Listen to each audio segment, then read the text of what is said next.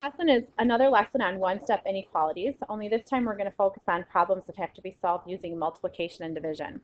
We have one special rule, and this is very different from equations, um, that you have to follow when you're dealing with an inequality. Anytime you multiply or divide by a negative number, you have to flip the inequality symbol.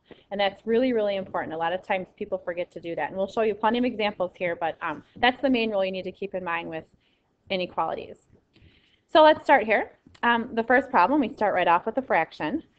We don't really have to clear the fraction in this case because it's just a one step. So we're just going to go ahead here and multiply by the reciprocal. So we're going to multiply both sides by 3 fourths. 3 fourths times 4 thirds cancels to give us just x. And just like before, we're going to bring down the inequality symbol. That doesn't change. And then if you want to throw a 1 underneath the negative 2, just to make it a little bit easier, you can. So we would multiply straight across and get negative 6 over 4, which we'd probably want to reduce here. Both have a factor of 2. Um, so bring that down. x is greater than negative 3 halves. Now you may wonder why didn't we flip the inequality because we got a negative answer. We did not multiply or divide by a negative. We multiplied by a positive 3 fourths, so we did not change the inequality. Now, as far as graphing, if you recall from our last video, you just make a quick little number line, put the negative 3 halves in the middle. Because it's a less than symbol, we are going to use an open circle, and then we're just going to shade off to the right because it's greater than. All right, number two.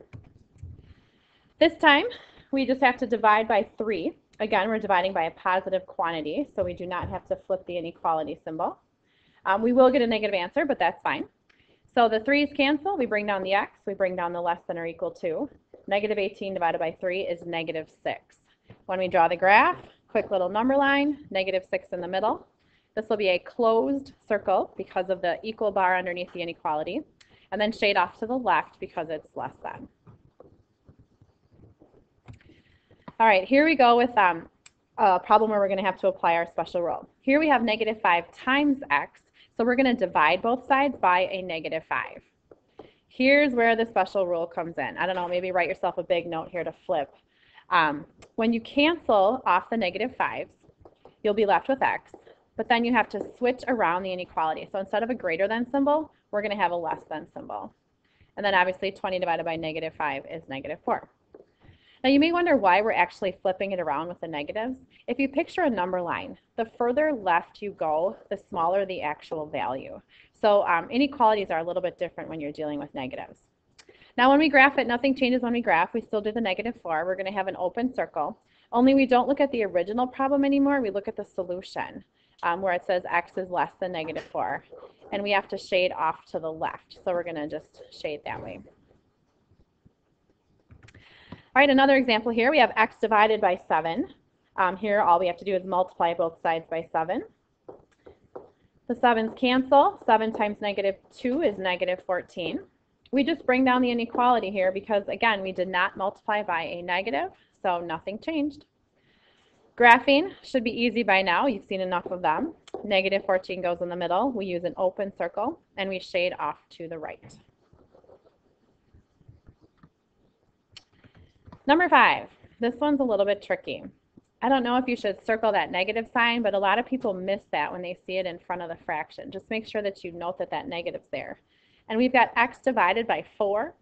We're going to go ahead and multiply both sides by a negative 4 right away. That'll cancel both the 4 and the negative. Again, we have multiplied by a negative number, so we need to flip that inequality symbol.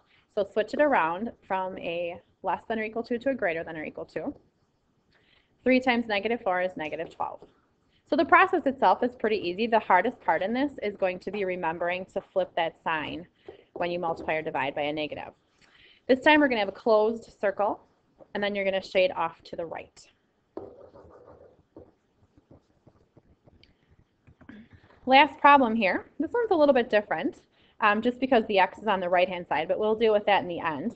We're going to start off by dividing by a negative 6. Now here's where our special rule comes into play. Um, 42 divided by negative 6 is negative 7. We have to flip around that symbol though. So instead of a less than symbol, it's going to be greater than. And then we have x on the right-hand side. But if you recall in our first video on inequality basics, when we talked about graphing, we talked about the variable has to be on the left-hand side. So now we're going to read it backwards. We are not flipping the symbol back we are simply reading the expression backwards so that the x comes first. So we would say x is less than negative 7. Again, it wasn't a flip, it's just reading it backwards. Then we go ahead and graph. You make your number line, you put negative 7 in the middle, and shade off to the left because of the less than symbol.